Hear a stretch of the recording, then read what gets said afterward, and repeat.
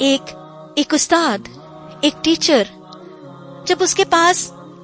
वालदेन अपने बच्चे कुछ फ़ीस के इवज छोड़ के जाते हैं तो बुनियादी तौर पर उसका उन वालदेन के साथ, अगर लिखत पढ़त के साथ ना भी हो, उस उस्ताद का अपने उन उन स्टूडेंट्स उन तालब इल्मों के वालदेन, बल्कि उन बच्चों ही के साथ एक मुआहिदा है।